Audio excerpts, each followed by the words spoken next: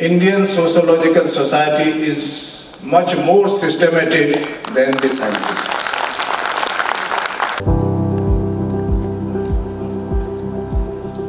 Uh, I have the honor to read the citation of Professor I.S. Chauhan. I continue.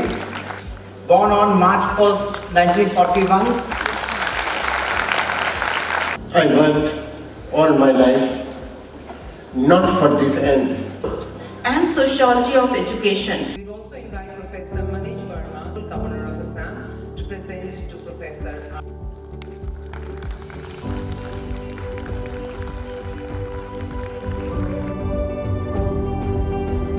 and all members of ISS for this honor that is given to me.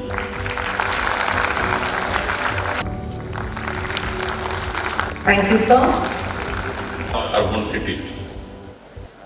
The academic pioneers uh, and their successors uh, have contributed to the understanding of uh, various social issues in Indian society. Gender, legal and constitution rights, rights of farmers, women.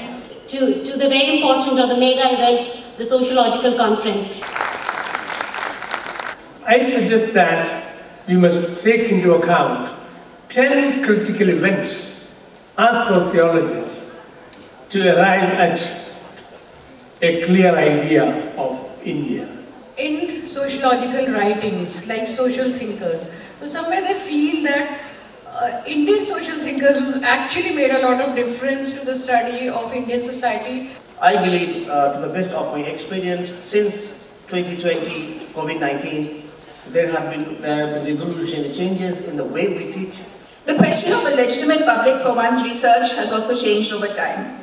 For instance, the Institute of Economic Growth, which was set up in the 1950s, states in its Memorandum of Association, the past is critical to look back upon and we have to refer back to what our predecessors have discussed.